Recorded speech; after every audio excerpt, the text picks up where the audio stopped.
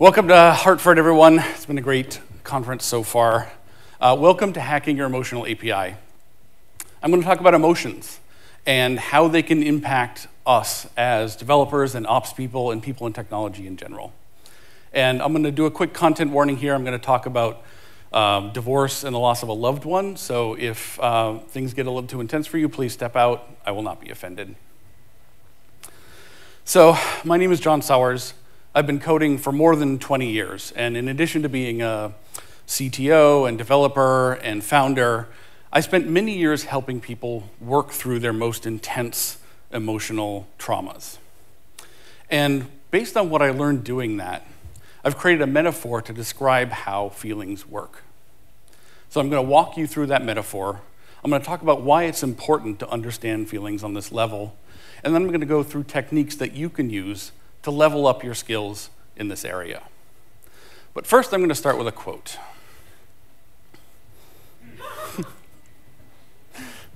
I think that's a pretty funny quote, and I think a lot of us can relate to it.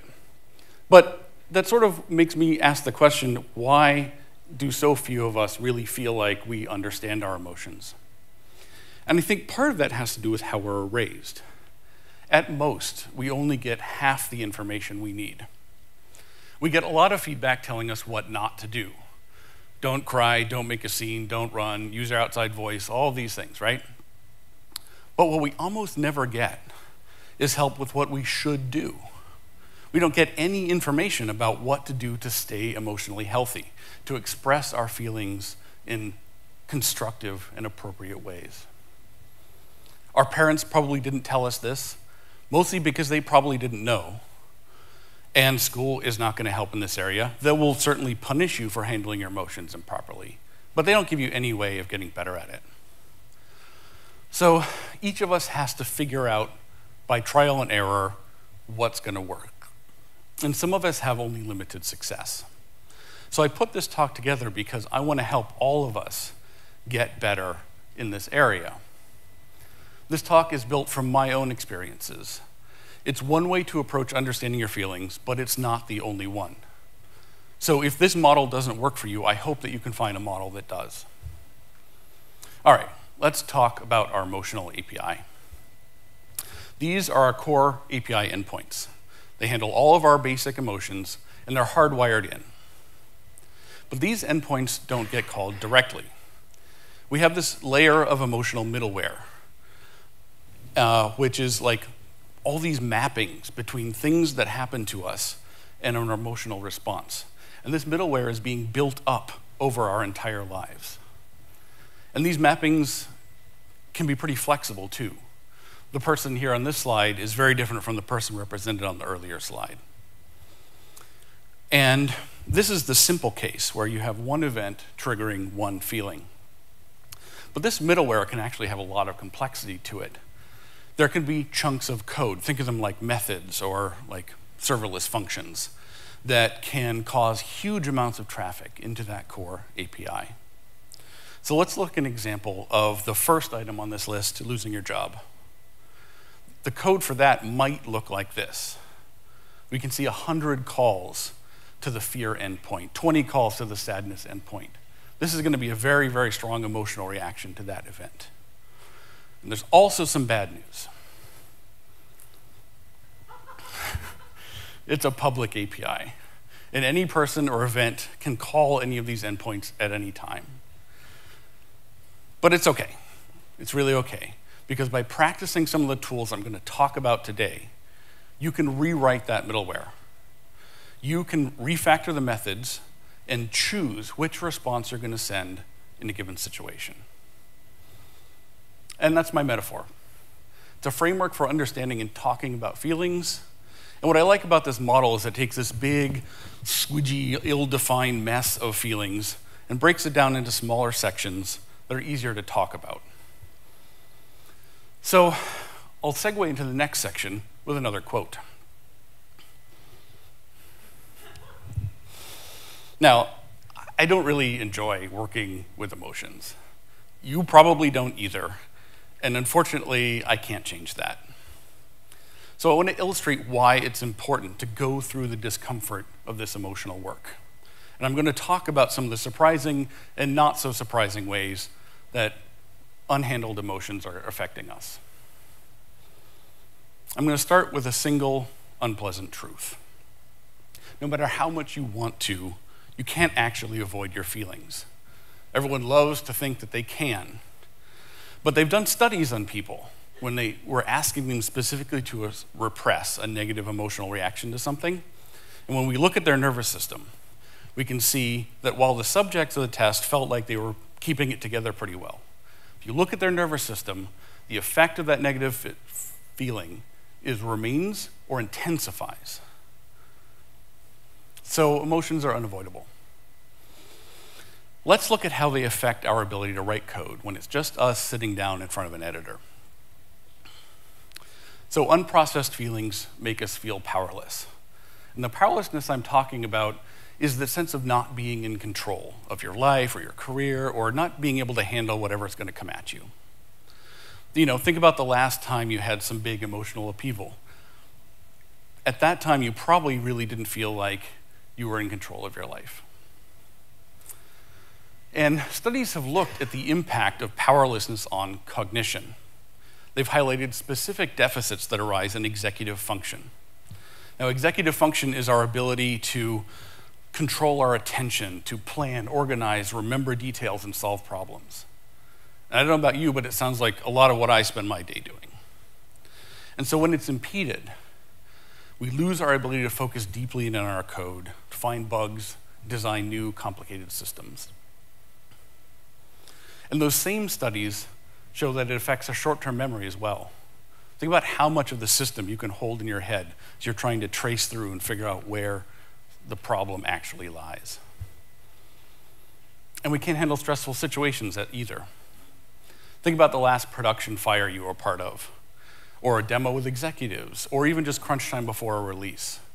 Do you want the stress of that situation to affect you this much or this much? Conversely, when you have good framework for handling your emotions, you get back that sense of control. You reverse all the problems I just mentioned. When children were trained in techniques of emotional hygiene, they showed improvements in behavior, as you would expect, but they also showed improvements in academic achievement. Their grades improved. And when similar training was done in adults, it showed improvements in long term physical health. Think about that. When your feelings work better, your body works better. And whether it's an open source project, a large corporate team, or a two person startup, thriving in a diverse community requires us to develop our skills in empathy, understanding, and communication. And being a good developer isn't just about slinging code or spinning up new servers. We're part of a community. That's what this conference is about. In many ways, the non coding aspects of our lives are more important than the coding or deployment or the rest of what we do when we're sitting typing. So now let's look at how feelings are impacting you in a group. One of the interesting things about doing the work to develop an understanding of your own emotional process is that it, it, that knowledge translates perfectly into understanding other people. When you've done that work on yourself, suddenly what someone else is going through makes a lot of sense to you. And in his book, Emotional Intelligence, Daniel Goleman talks about the research he's done, showing that emotional intelligence is correlated with career advancement. Put simply, You'll get better jobs and you'll be promoted faster when you have these skills. So, when we regain that sense of power that I talked about earlier, we become less self centered and our ability to empathize is enhanced. Now, we rarely intend to cause harm with the words we say or some of our actions, but it can happen by accident very easily. When we understand other people's emotional reactions, the empathy helps us predict how our words and actions are going to come across so we can easily avoid inadvertent harm. This quote from a developer at Valve sums things up pretty well.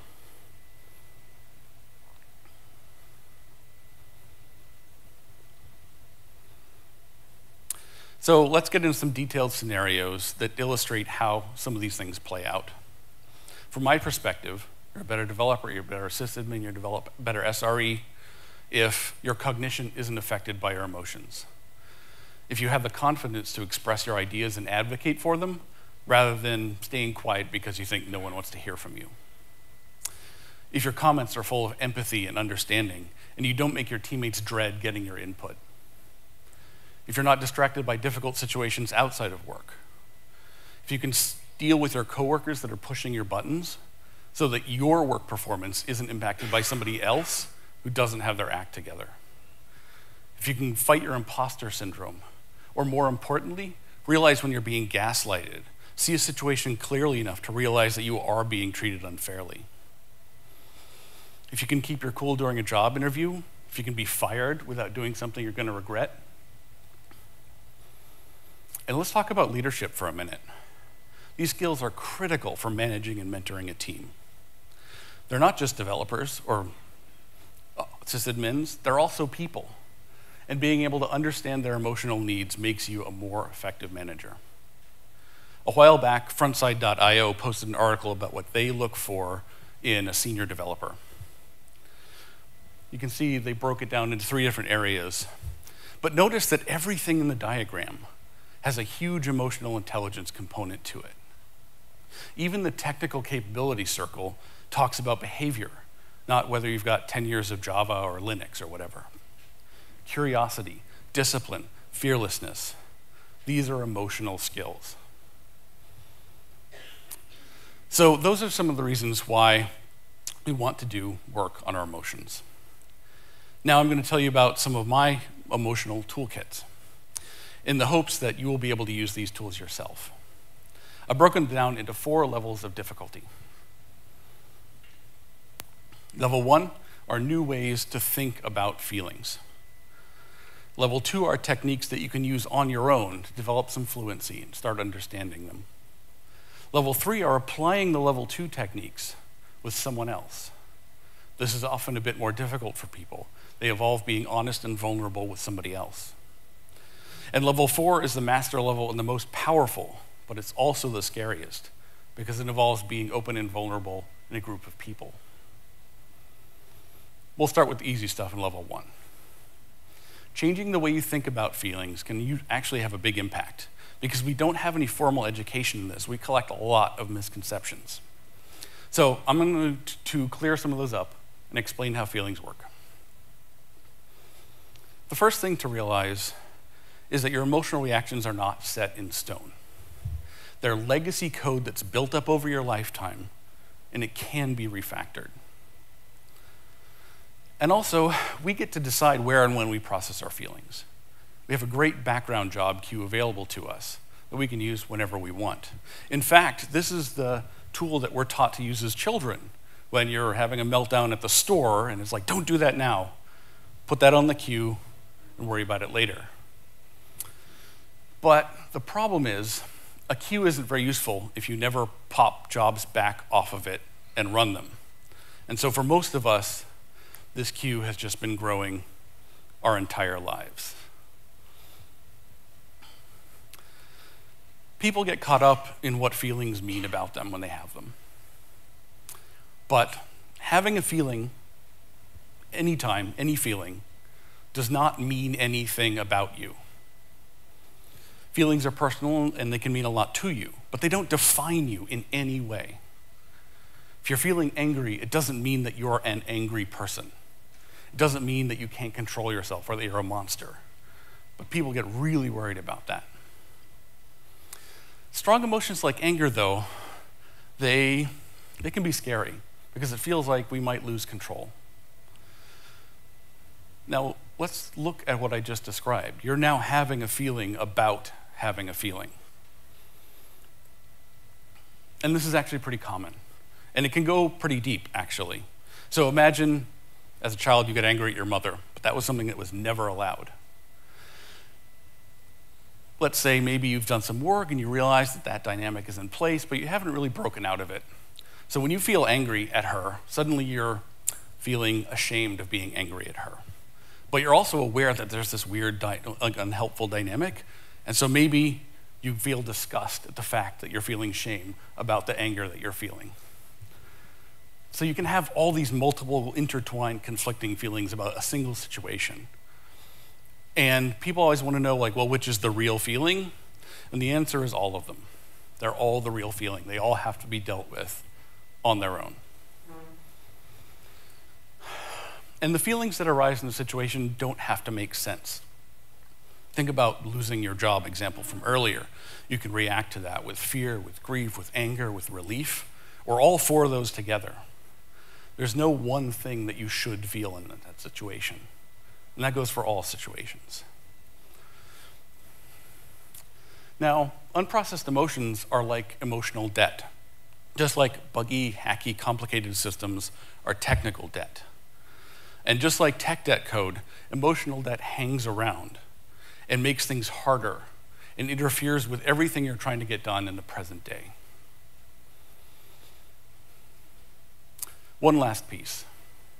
Many people have had the experience of a feeling coming on and feeling like it's so intense that it's just going to take over and it's never going to end. That There's just like, if I start yelling, I will never stop yelling. If I feel this sadness, I will never stop crying. But it's not going to happen. Our bodies just don't work that way, our brains don't work that way. Experts tell us that feelings really only last about 20 minutes. And this has been verified with my own experience countless times. So that's level one. Level two are, are things that you can do on your own, both to build an understanding of yourself and your feelings, and to start having direct experience with some of the concepts from level one. So, feelings begin in your physical body. They're not just mental processes. And all they want to do is move out. That's it. So it's like when you've had too much coffee, right? Your body just wants to move. That's just compelled to do that. In fact, sometimes the first sign of an emotional reaction to something is in your body somewhere. Maybe your shoulders are crunched up or you're feeling something in the pit of your stomach. You may not even know what the feeling is, but it's in there in your body. So moving your body can help bring those things out and help you deal with them. So that can get you started, but in order to make real progress, you still have to acknowledge the feeling, you have to know what it is, you have to feel it. You can't just go for a run and hope it goes away. So, a quick aside. You may have heard of rubber duck debugging. And if you haven't, I'll give you a quick rundown. So, have you ever noticed that when you've been banging your head against a problem for a couple of hours, you get really frustrated, and eventually get it from your desk, you go over to a coworker, and you say, I've got this problem, and you start explaining it. And halfway through your explanation, before they've said anything ever, at, at all, boom, suddenly you have the insight into the solution. This happens so frequently that a hack has been developed to short circuit this process a little bit. You can keep a little rubber duck or a cat or a dog on your desk and before you get to that point of asking someone else, you explain the problem to them as if it was a coworker. And chances are that'll be enough to trigger the same burst of insight. We'll get back to this in just a moment. So, being aware of your emotions, talking about them, naming them is really helpful. And there, here are some tips for talking about feelings. Now, you may have noticed that this is the section for things that you do on your own. Let me explain. This is where the rubber duck comes in because the same hack works with feelings as it does with technical problems. You can explain them verbally to nobody. Just saying the words out loud can often be enough to bring you some insight, to maybe suddenly realize what it is you're feeling. Think of it as a process of verbally exploring the feeling space. Like, try on this word, try on that word. Oh, that's it. That's what I'm feeling right now. And it can be hard to find the right word, though, because we don't have a lot of practice with this. So don't worry about picking just the right word. One of the keys is to try on a bunch of different words and see which one fits. This feel wheel can help suggest words to you. It was developed by Dr. Gloria Wilcox. It's not exhaustive, and you may not even agree with how some of the feelings are broken down in the hierarchy, but it's a great way to just get started finding the right word. Come see me after the talk or the rest of the conference. I've got a whole stack of these. I'd love to give you a copy. And the language we use when we're talking about a feeling is really important. When you describe a feeling, you say, I feel angry. I feel sad. You don't say, I am angry. It's a subtle difference in wording, but the meaning of it literally is very, very different. I feel sad says, I am currently having this feeling and I know it's going to pass. I am sad says, sadness defines me. Now, it's a little bit hyperbolic, but I think the underlying truth is there. So it's helpful to make the switch, even in ca- casual conversation. So, talking through a feeling is basically like calling your emotional API endpoints over and over in a safe space. And anything you do over and over again, you get better at. You start to get familiar with what it feels like to you to feel certain things. I suggest doing it on a regular basis, maybe a weekly emotional retrospective, like a sprint retro. We can just go back on the week and say, ah, Tuesday, a little depressed. Wednesday, so angry. Thursday was awesome. So you can do it as simple as that. Just name the things that happen, name the feelings. Or you can really, really dive into them, feel them, try and get to the root. And taking the time to practice this on a everyday feelings, things that happen that aren't huge and catastrophic, will make it much, much easier when the big things happen. Now, you can develop a lot of skill and insight working on your own, as I've just described. But things get much, much more powerful when another person is involved. So, in addition to helping process your own feelings, talking to others with them strengthens relationships. It makes them feel trusted and included, and it increases their trust in you. And this, you could do something as simple as sharing your emotional retro with someone. But emotional sharing isn't always helpful in all situations. Imagine you're angry that a coworker got credit for an idea you proposed. It makes you angry. What you need to do is feel that anger first. Realize what it is you're angry about and what the resolution is. Clear out that feeling, express it away from everybody else. Once you know what the resolution is and who to talk to about it, you go talk to them. You say, This thing made me angry. But you don't have to be angry when you're telling them this. And in fact, it's often counterproductive because it's going to put them in a defensive state. And then the conversation is going to be about the feelings that are happening right then, not about the resolution going forward. And sometimes you need to bring in a consultant. There continues to be this judgment that seeking therapy means you can't handle your life or that it's only for big you know, psychological, pharmacological problems. But working with a therapist should have no more stigma than hiring a consultant to architect your next integration. Having a subject matter expert on hand to help you get unstuck, to point you to a solution you may have missed, is really powerful.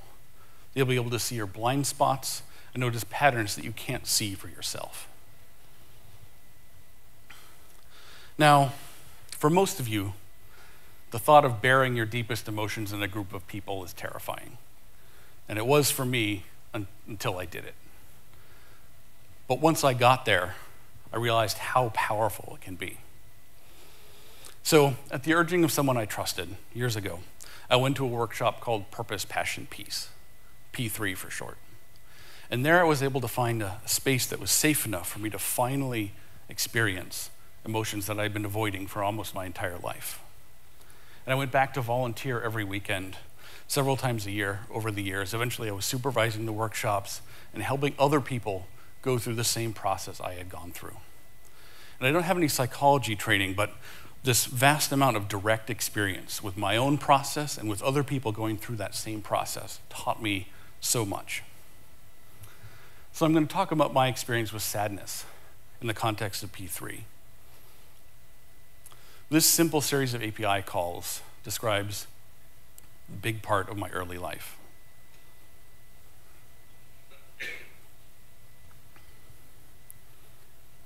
Each one of these hits was devastating, and they all multiplied together. You'll see there are different versions of the API for different ages, and we'll see how that plays out in just a minute. So when I was five, my parents divorced.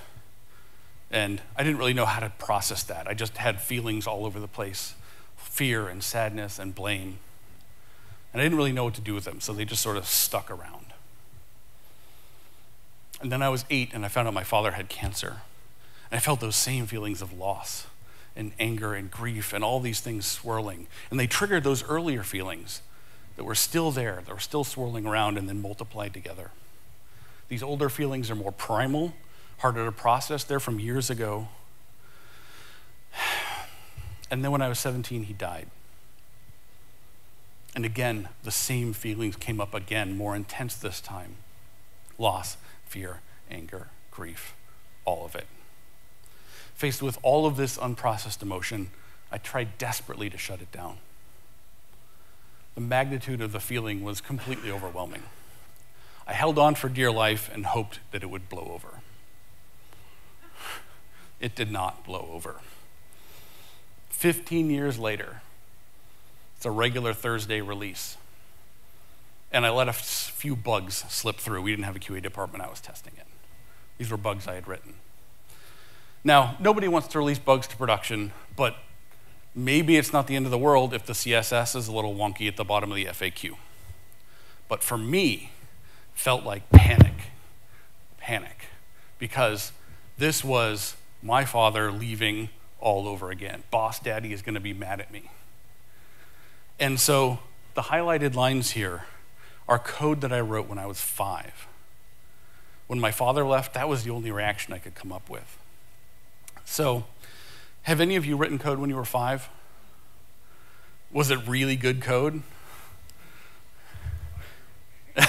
Maybe. But I was reacting to something happening to my adult self with code written by a child. And that's what these old unresolved feelings do to us. They trap a part of ourselves at the developmental stage we were at when the trauma happened, so that anytime these feelings come up again, they're handled by the most primitive and damaged parts of ourselves. And this is what I'm talking about when I talk about emotional debt. These things stick around and affect our daily life. So, I did what you do with sadness. Once it was safe in an environment like P3, I cried. I cried and I cried multiple times, deeply until my stomach muscles hurt over years. But as I did that work, as I finally really felt those feelings, it slowly went away. And over and of now, that grief and sadness is gone. And I worked with all the other things. I worked sent the sadness out, and then I sent the anger out, and then I sent the grief, and then the shame, all of them. So if you remember this slide, there are a lot of feelings happening. So I work through each one in turn. You can't do them all at once. Focus on the sadness first, then on the grief, then the next one. Once I, once I was finished, I refactored that endpoint. Here's a diff. Now, of course, if my father died now, I would feel a lot of sadness and grief. But I wouldn't be damaged for the next 20 years by this process. I'm not running that outdated code anymore. And you like this. Sometimes you can completely wipe out a whole endpoint. If you remember that buggy release from earlier, this is what they look like now. It's basically a no op. So that was some of my baggage. And you've heard a little bit about how that affected my life. And I'd like you to think a little bit about what some of your baggage might be. What are you bringing to your adult relationships, both at work and at home, that makes you react to things like a 10 year old or a 5 year old or a 15 year old? And that's my toolbox. Every one of these tools is just a hack to get you to one place feeling a feeling not stopping it, not denying it, not analyzing it, not indulging it, just feeling it, because that's really all that needs to happen. And since forever these skills have been called soft skills, and I just bristle whenever I hear that word because these things are incredibly difficult to develop. It takes a lot of time to develop these things, far longer than it takes to learn C or Java or Docker or anything. And that's why I'm here speaking because I'm hoping that this framework will help you get there faster. And as I start wrapping up, I want to talk briefly about next steps. So, you know, you read an article about best practices and you get really excited, like, oh, this is so cool. It's going to be all efficient and well organized. You, get, you charge down to your editor and you sit down. You really want to make those changes.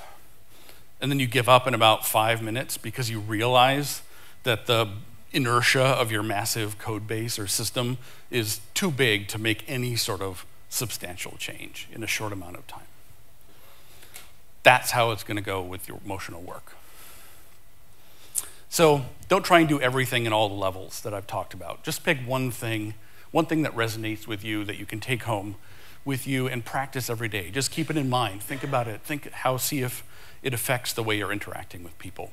And then once you feel like that's integrated, watch a video. There are a bunch of them available online, or use your notes and try the next thing. And by that piece by piece action, we slowly make things better. So, your relationships with everyone, with yourself, your coworkers, your family, loved ones, they all start with you.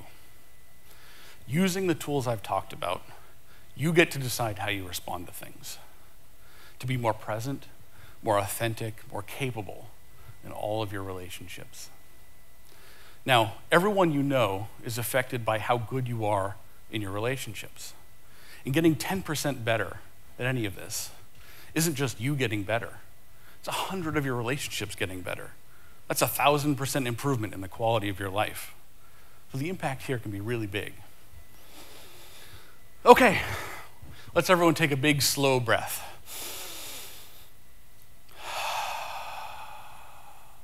Thank you so much. It's been wonderful talking to you here today. I have got plenty of field wheels. Please come by and stop and talk about this, get some of this. Maybe I'll be able to get into one of the open spaces later and we can talk more. It'd be great. Um, I'll update the URL on the slide for and tweet out the latest slides for this. Uh, follow me on Twitter, and if you're interested in references where I got some of this information, take a snapshot of this, and you'll have all of it. Thank you so much.